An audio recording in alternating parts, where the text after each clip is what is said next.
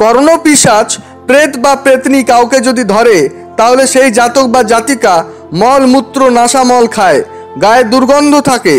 এই কর্ণপিশাচিনী থেকে মুক্ত পাওয়ার জন্য রোগীর বা সেই জাতকের মাথায় হাত রেখে এই মন্ত্রটি পাঁচ হাজার বার জপ করলে কর্ণপিশাচিনী পালিয়ে যায়।